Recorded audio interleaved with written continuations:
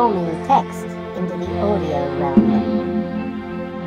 Harmonic Wave, transforming text into the audio realm. Harmonic Wave, transforming text into the audio realm. Our programs are produced entirely in the USA and read by professional narrators who are compensated for their services at prevailing union rates.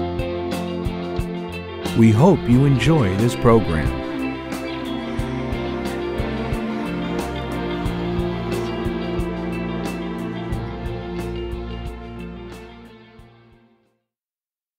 Mrs. Wiggs of the Cabbage Patch by Alice Caldwell Hegan.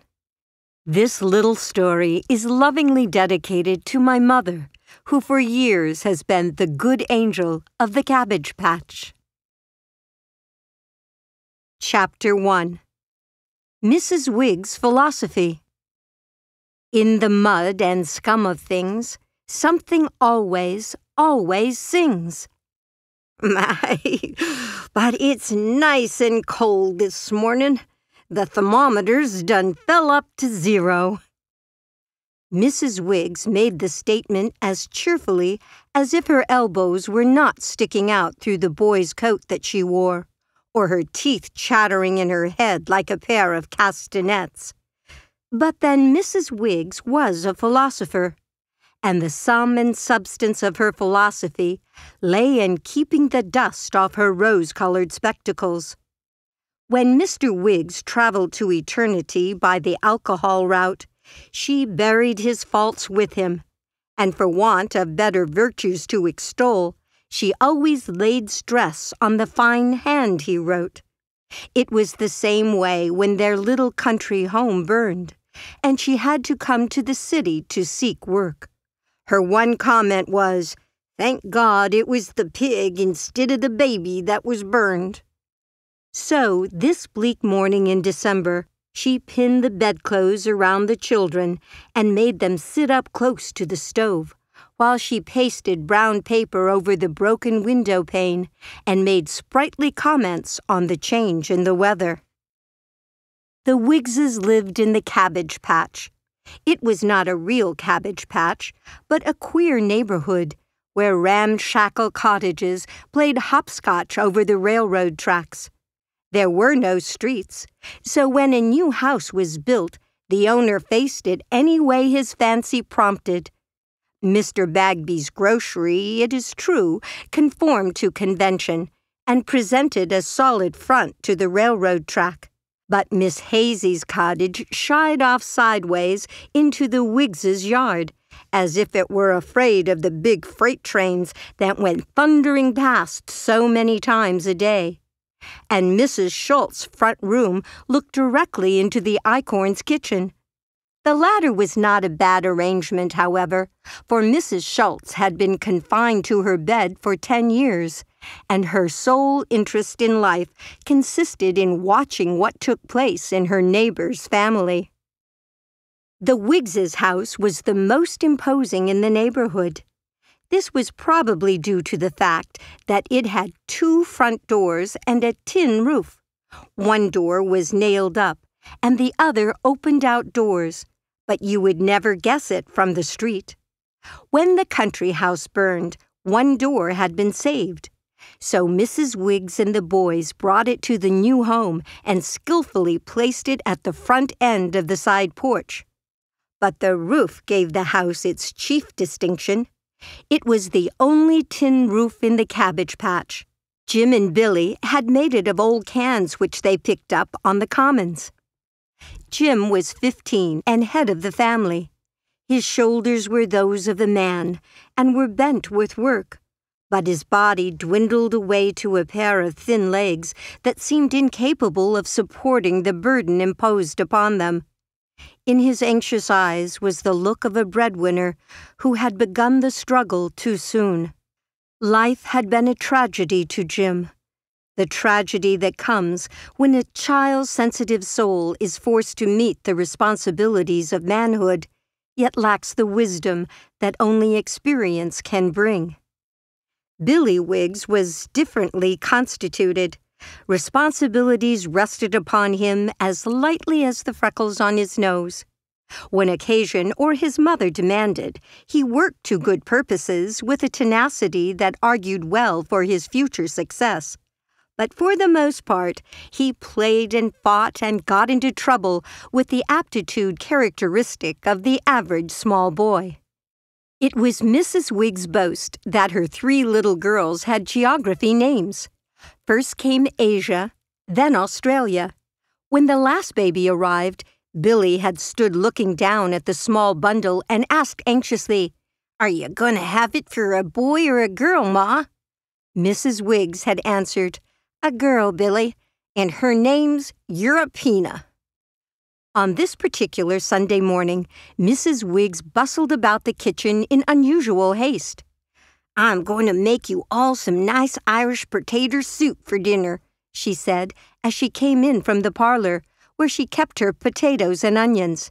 The boys'll be in soon, and we'll have to hurry and get through for the children begin to come to Sunday school. For many years, Sunday afternoon had been a trying time in the neighborhood, so Mrs. Wiggs had organized a Sunday school class at which she presided.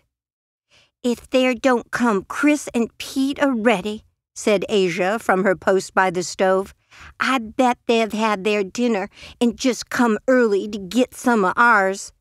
Why, Asia, exclaimed Mrs. Wiggs, that ain't hospital, and Chris with one leg, too. Tain't no trouble at all.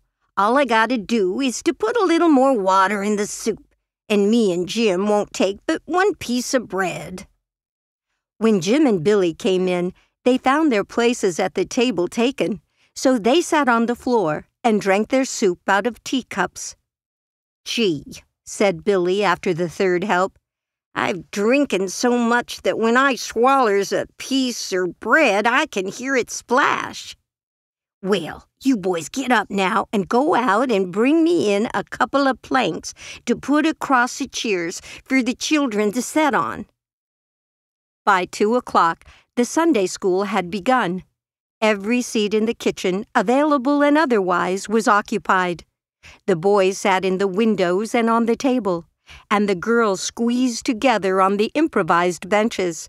Mrs. Wiggs stood before them with a dilapidated hymn book in her hand. Now, you must all hush talking so we can all sing a hymn. I'll read it over, then we'll all sing it together.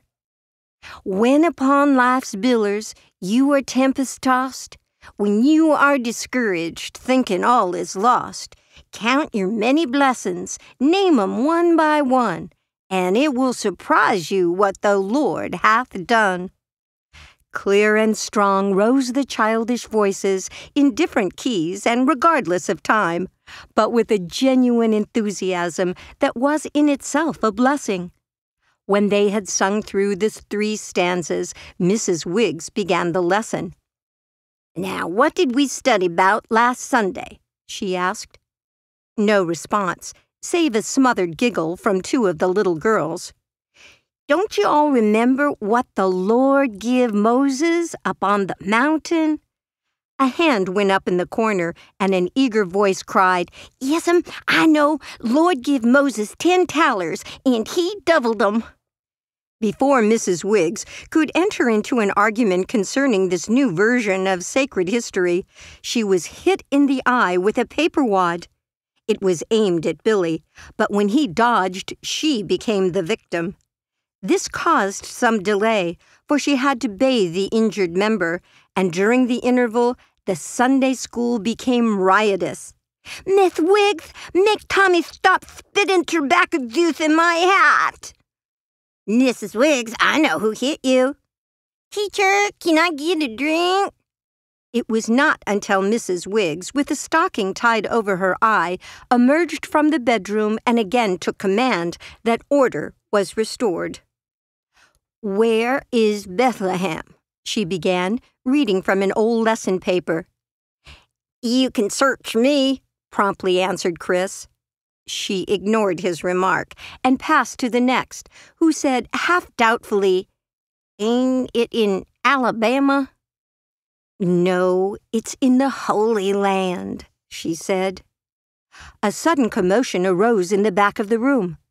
Billy, by a series of skillful maneuvers, had succeeded in removing the chair that held one of the planks, and a cascade of small, indignant girls were tobogganing sidewise down the incline. A fight was imminent, but before any further trouble occurred, Mrs. Wiggs locked Billy in the bedroom and became mistress of the situation. What I think you children need is a talk about fussin' and fightin'. There ain't no use in me teachin' what they done a thousand years ago when you ain't got manners enough to listen at what I'm saying. I recollect one time during the war when the soldiers was layin' round the camp tryin' they best to keep from freezin' to death, a preacher come along to hold the service. And when he got up to preach, he says, Friends, says he, my text is chilblains. There ain't no use of preaching religion to men whose whole thought is set on their feet. Now, you fellas get some soft soap and pour it in your shoes and just keep them shoes on till your feet get swell. And the next time I come round, your minds will be better prepared to receive the word of the Lord. Now that's the way I feel about this here Sunday school. First and foremost, I'm going to learn you all manners. Just one thought I want you to take away, and that is it's sinful to fuss. Ma used to say living was like quilting. You oughter keep the peace and do away with the scraps. Now, what do I want you all to remember? Don't fuss, came the prompt answer. That's right. Now, we'll sing Pull for the Shore. When the windows had ceased to rattle from the vibration of the lusty chorus, Mrs. Wiggs lifted her hands for silence. O oh Lord, she prayed earnestly, help these here children to be good and kind to each other, and to their maws and their pa's. Make 'em thankful for whatever they are got, even if it ain't but a little Show us all how to live like you want us to live, and praise God from whom all blessings flow. Amen. As the last youngster scampered out of the yard, Mrs. Wiggs turned to the window where Jim was standing. He had taken no part in the singing and was silent and preoccupied. Jim, said his mother, trying to look into his face. You never had on your overcoat when you come in. You ain't gone and sold it. Yes, said the boy heavily, but tain't enough for the rent. I gotta figure it out some other way. Mrs. Wiggs put her arm about his shoulder, and together they looked out across the dreary commons. Don't you worry so, Jimmy, said she. Maybe I can get work tomorrow or you'll get a raise or something. There'll be some way. Little she guessed what the way was to be. Chapter 2 Ways and Means Ah, well may the children weep before you. They are weary ere they run. They have never seen the sunshine, nor the glory which is brighter than the sun. The cold wave that was ushered in that December morning was the beginning of a long series of days that vied with each other as to which could induce the mercury to drop the lowest. The. We hope you enjoyed this preview. To continue listening to this audiobook on Google Play Books, use the link in the video description.